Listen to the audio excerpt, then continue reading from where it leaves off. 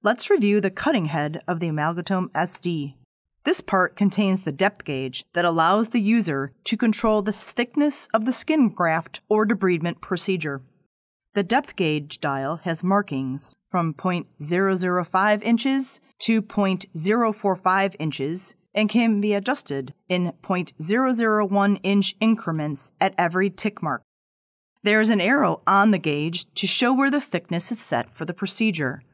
Think of the dial as a clock. Turning it clockwise or to the right increases the thickness on the depth gauge.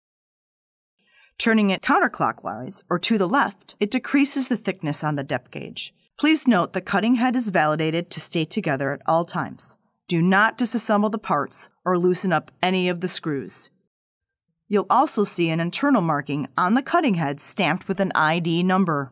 This is only an internal reference number for Exsurco and is not part of the operation of the cutting head.